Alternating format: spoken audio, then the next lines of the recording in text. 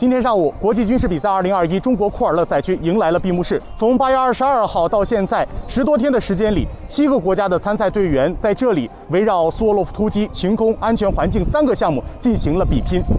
在赛场上，我们看到了各国参赛队员的速度与激情，也感受了他们追求极限、不轻言放弃的竞技精神。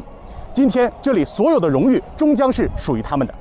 上午十一时，闭幕式开始。在十四天的赛程里，来自四大洲七个国家的一百八十二名参赛队员进行激烈角逐，共产生八个单项第一名、三个团体第一名，打破五项赛事纪录。其中，中国参赛队包揽三个项目的团体第一名，包揽库尔勒赛区所有金牌。在响彻全场的掌声中，赛事组委会宣布并颁发了国际军事比赛二零二一苏沃洛夫突击、晴空和安全环境三项比赛的团体奖。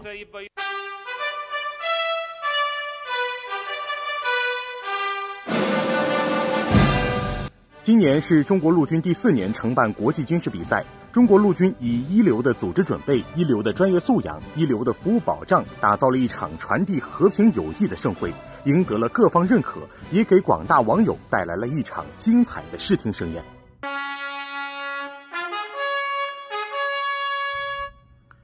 随着国际军事比赛会旗缓缓落下，国际军事比赛2021中国库尔勒赛区的比赛圆满结束。